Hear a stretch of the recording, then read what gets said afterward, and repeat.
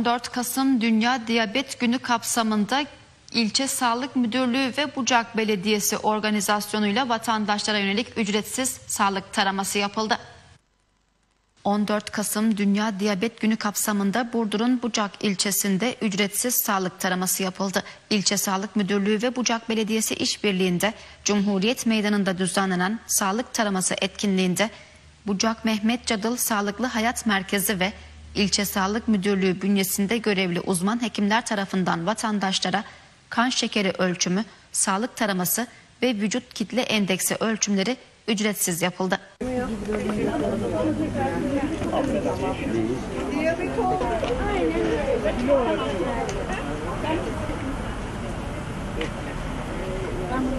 Etkinlik hakkında Kanal 15 mikrofonuna konuşan Mehmet Cadal Sağlıklı Hayat Merkezi'nde görevli Doktor Şeymanur Aksoy Şahan, 14 Kasım Dünya Diyabet Günü kapsamında farkındalık oluşturmak amacıyla İlçe Sağlık Müdürlüğü ve Bucak Belediyesi işbirliğinde alanında uzman, diyetisyen ve fizyoterapistler eşliğinde vatandaşlara yönelik ücretsiz sağlık taraması yapıldığını belirtti. Sağlıklı beslenme ve hareketli yaşamın önemine vurgu yaptı. Bugün 14 e, Kasım Dünya Diyabet Günü için buradayız.